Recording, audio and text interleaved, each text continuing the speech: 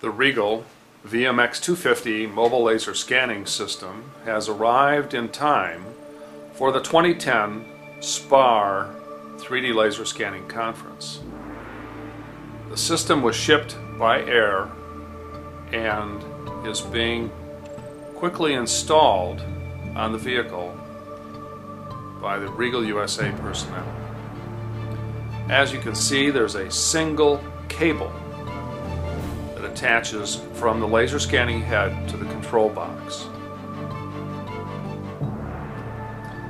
The scanning head is mounted on the back of the vehicle, single antenna with the DMI wheel sensor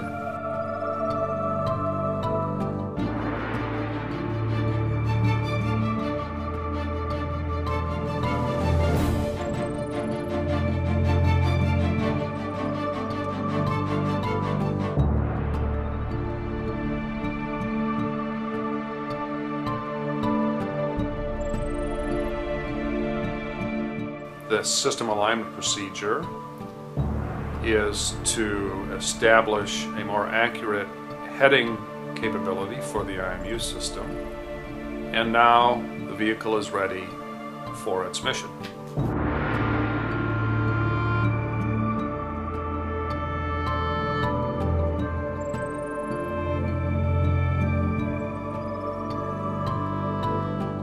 The ability of the system to operate and navigate on city streets allows us the convenience to capture information in a very complete manner.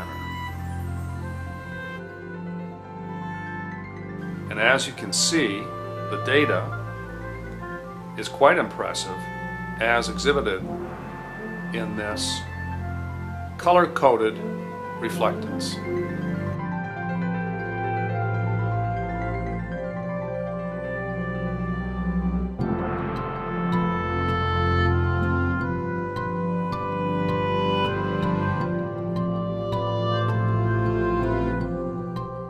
Operation of the unit in various traffic conditions, whether fast and free flow, stalled and congested, is quite evident.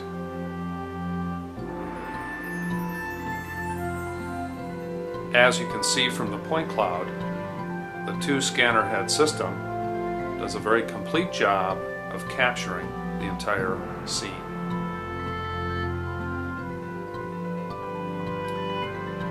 You'll see the grayscaled reflectance in this image, and you will see the power of the 16-bit channel for the intensity information.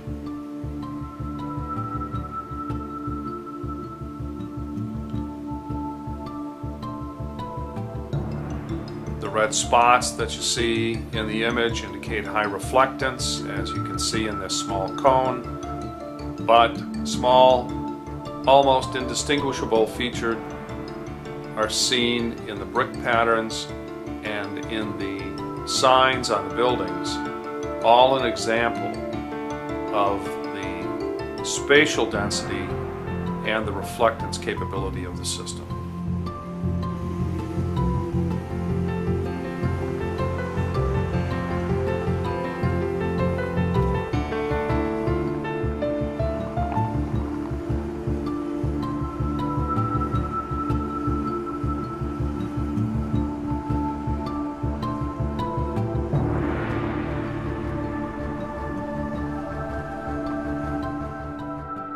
As you can see in this range-independent reflectance image, the far buildings, you're seeing the orange or yellow colors, and you can determine that those colors are not governed by the distance from the laser scanner. In addition, if you compare the video with the point cloud information, you're seeing the varying reflectances established by the different materials that the laser hits.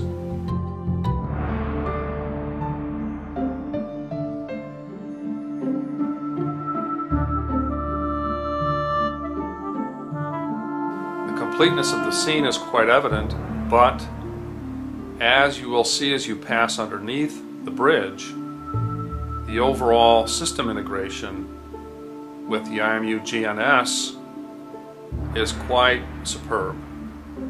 There are no missing or dislocated data sets.